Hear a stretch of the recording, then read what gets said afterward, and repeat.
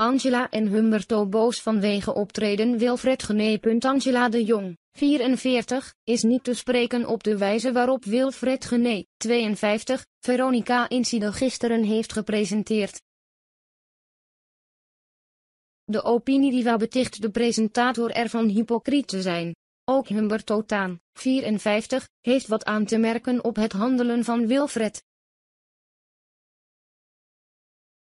De pijlen waren vooral gericht op Johan. In haar column in het Algemeen Dagblad haalt Angela hard uit naar Wilfred, ze noemt zijn optreden laf. De pijlen waren vooral gericht op Johan. Ook die van Wilfred. Zozeer zelfs dat je je als kijker afvroeg, als je het allemaal zo goed weet, waarom sprak je al die wijze woorden vorige week dan niet, in plaats van opzichtig te hengelen naar een foute opmerking van Johan bij de foto van een zwarte Piet in Leeuwarden? Schrijft Angela. Humberto is om hele andere redenen boos op Wilfred. Tijdens Veronica-incident gaf Wilfred namelijk aan dat Humberto weigerde om langs te komen in de uitzending. En dat vindt hij niet netjes. Waarom zou ik bij zes moeten zitten?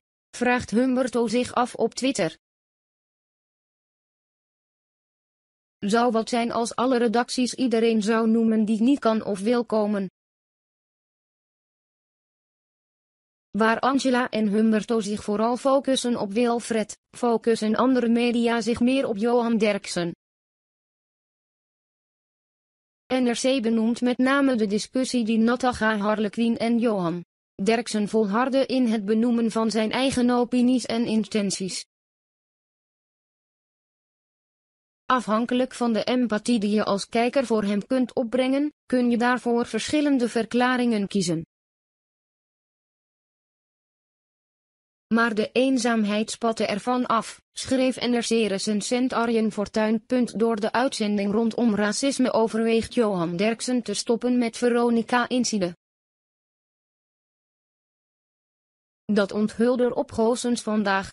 Je ziet alles over de uitspraak die Johan vorige week in het programma deed en het stof dat die deed opwaaien in de video hieronder.